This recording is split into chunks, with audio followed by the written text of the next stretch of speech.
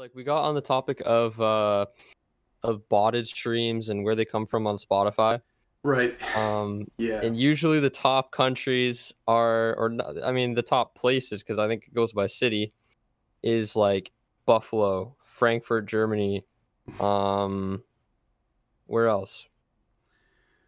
Well, so here's the the thing with that. It's it's really any city that has a large data center. That's why like think if you get a VPN service, these cities that it offers to you, you know, like LA, Austin, um, you know, Boston, Atlanta, Right. any city that you're going to, you know, even in uh, you know, Toronto. I mean, it's any large city that has data centers in it. That's how they're able to provide that service.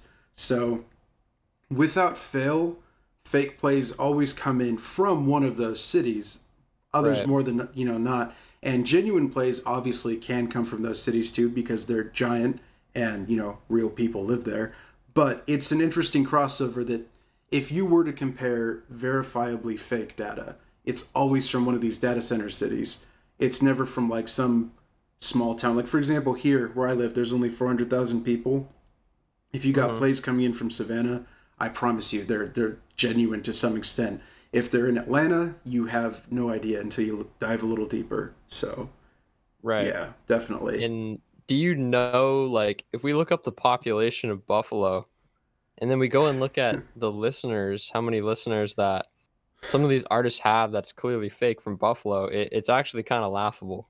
It, right, it, like- it, it is, yeah, and it's like at a certain point actually too, 'cause- because this has been going on so long. I have to ask myself as an artist, what's laughable to me at this point is like, do you not? People see what you're doing. It's like the most common thing that you could look at to distinguish what's going on.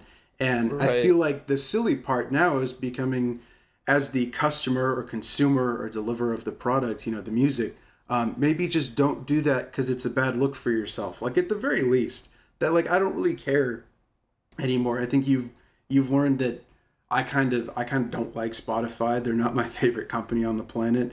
And at this point, I've just kind of accepted the reality of whatever is.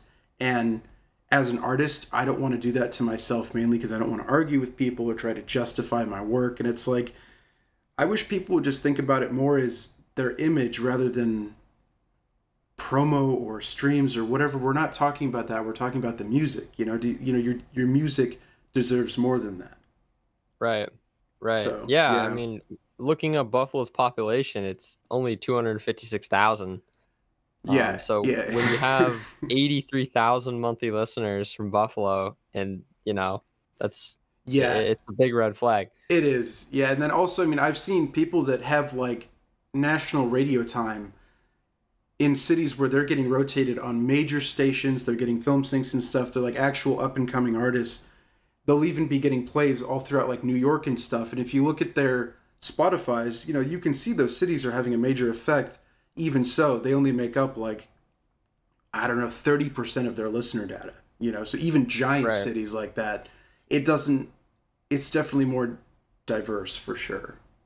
Right. And like even if you are from Buffalo, like if your hometown's from Buffalo and like you're kind of making a even if you're like, you know, in the club scene there or if you're playing shows in Buffalo, it, it doesn't even make sense having 86,000 or 90,000 monthly listeners from from that city in the first place.